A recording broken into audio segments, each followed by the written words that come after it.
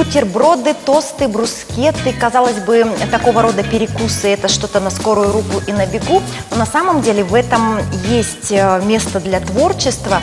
Еще и очень удобно для тех, кто только начинает свой путь на кухне, кто боится готовить сложные блюда, кто еще недостаточно набил руку, чтобы что-то обжаривать или э, при правильной температуре запекать. Вот как раз можно начинать с малых форм. Брускетта с сыром, с рикоттой и с дорблю и с подвяленной грушей. Вообще сыры в европейской традиции очень часто где-то рядышком с десертом, а то и просто на их месте. А, поэтому те, кто предпочитает э, именно европейскую кухню, уже давно привыкли к тому, что а, сыры подаются с медом и с конфитюром, и то, что сочетать их с чем-то сладким, с ягодами и с фруктами, это всегда очень вкусно и изысканно. Хлебушек. Хлебушек бездрожжевой, а, что-то типа чиабаты. Можно взять э, либо пшеничный, если хочется белый, если угу. хочется все-таки соблюдать правильное питание, то на какой-то гречневой или э, льняной, может льняной быть, основе, муке, да. да. Может быть. Мы сейчас его порежем, подсушим и потом уже будем сервировать для духовки. Добавляем топленое масло. Выкладываем хлеб, обжариваем его, чтобы он был по суше, потверже для брускетты.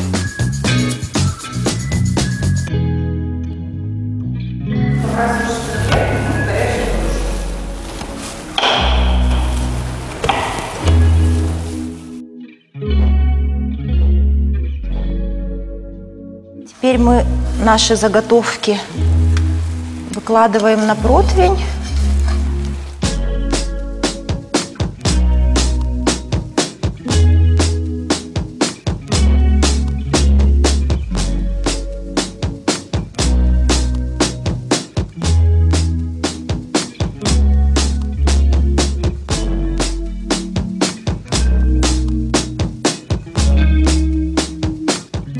Это сыр рикотта.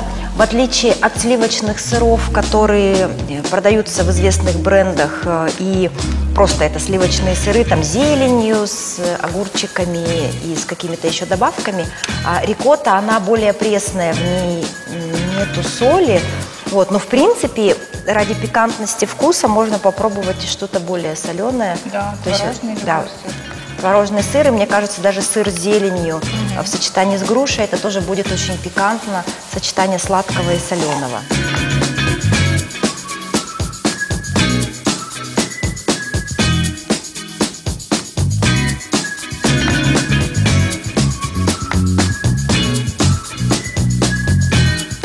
А тем временем я занимаюсь грецкими орешками. Их надо меленько подробить.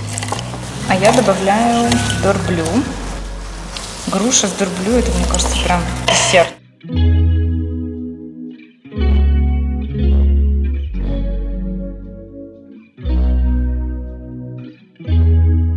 Я недавно была в Москве, и меня там угощали макарунцами с сырными вкусами, с разными видами сыра, в том числе груша, дорблю, бри с инжиром. Это было настолько вкусно, невероятно вкусовое сочетание.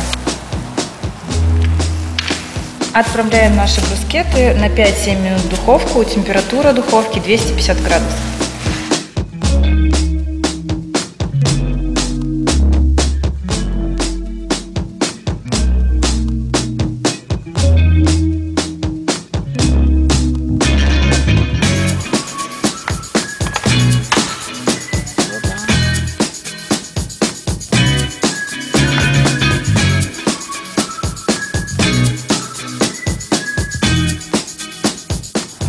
Добавляем топинамбур, сироп, чтобы блюдо, совсем десерт получился. Да, блюдо было по-настоящему десертное.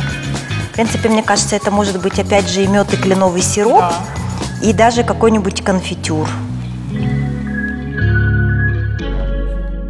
И вот такой у нас получился приятный перекус. Вообще идея бутерброда или брускетта, как все это называют итальянцы, она может быть весьма даже изысканной и экзотичной.